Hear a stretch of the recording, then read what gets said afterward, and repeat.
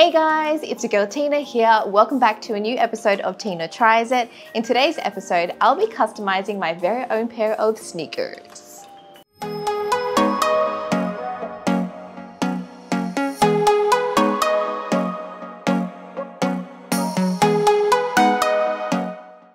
I'm here at Artistra Studios, Singapore's first sneaker art jamming studio,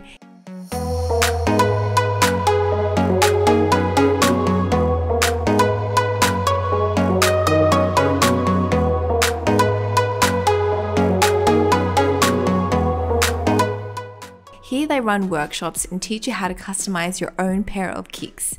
Everything is included in their workshop. They provide you with a pair of sneakers, special leather paints, and a wide range of stencils.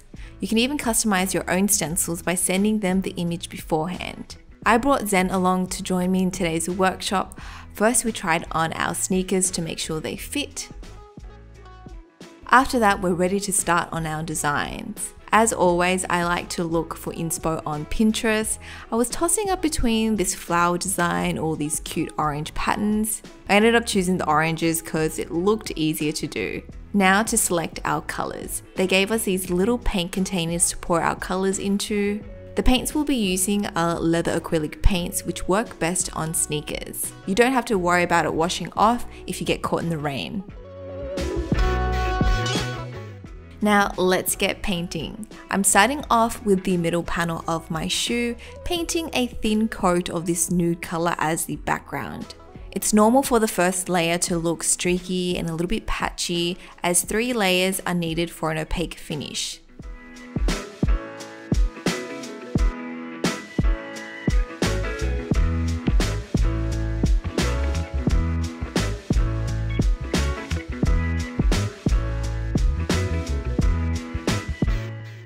After my first layer, I use a hairdryer to speed up the drying process, as well as distract Zen as she's working on her masterpiece.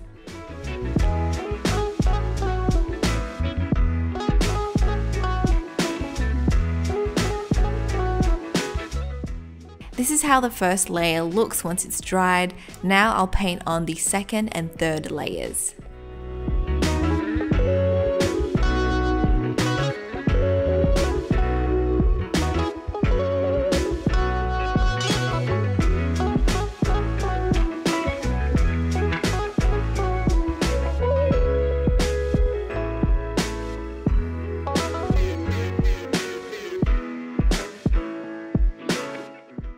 To speed things along, I've acquired the help of my trusty cameraman, aka Alfred. Look at his blow drying skills, he's truly a pro indeed. Beside me, Zen is working on the front panel of her shoe. She's doing a mismatched design with the different shades of pink,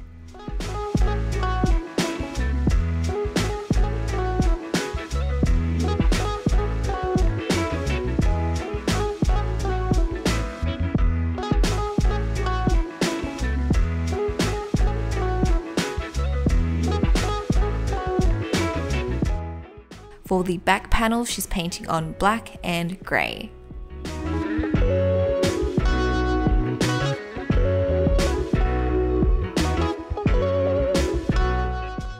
After that, Zen chooses her stencils. Look at all the cool designs they have. She ended up choosing these cute clouds now, if you're not confident in freehanding your design, stencils are the way to go. They're really easy to use, you just have to stick them on, apply some heat, then peel off the transparent film, and you can start painting.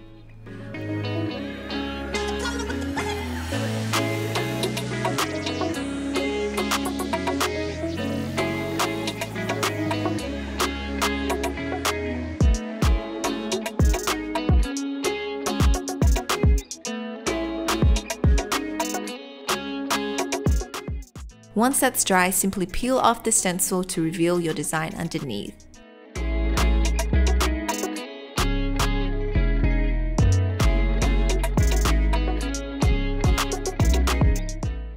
Look how cute these mismatched clouds are. Okay, back to my shoe situation. I thought I'd be courageous and hand paint my oranges. After all, they're just small circles, right? How hard could it be?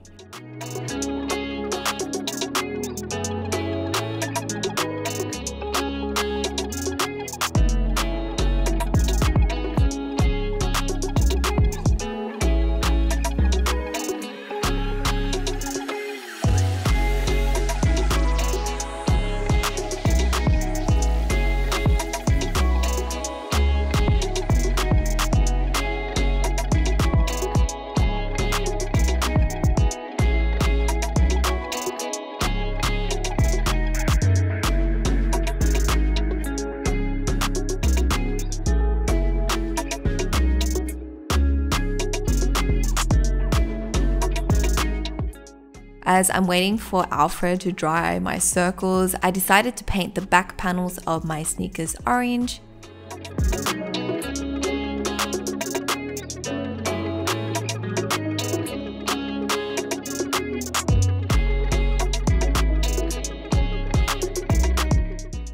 After I was done building up the layers, it's time to paint in the details. This is where I started questioning my life. Even though these were just little triangles, it took a lot of patience and concentration not to stuff them up. Also, I had my work cut out for me as I needed to paint four panels worth of triangles. Gah!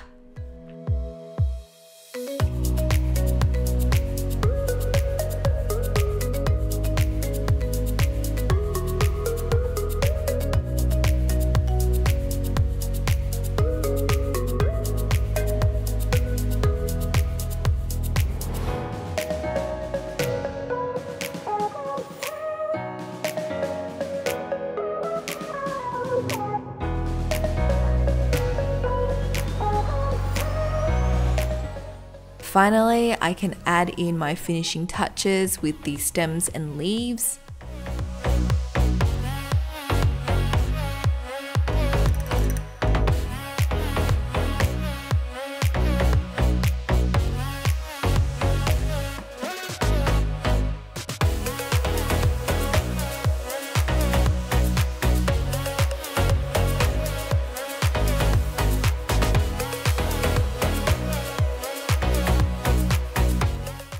For Zen's shoe, she was smart and efficient sticking with the stencils. She used these heart-shaped stencils on the back and side panels. It gave her the perfect shape and her hearts were oh so crisp. Crisp. Once we were done with our sneakers, the staff helped us clean up any mistakes we made with acetone and then they sealed off our designs. Voila! Our custom sneakers are done. What do you guys think? This was a labor of love, but I'm really happy with how it turned out. Can't wait to rock my one of a kind sneakers. After all, who doesn't love wearable art? Thank you guys so much for tuning into this video. If you enjoyed it, please like and subscribe to my channel. Plus, don't forget to turn on notifications so you don't miss out on any future episodes. That is it from me. I shall speak to you guys next time. Bye!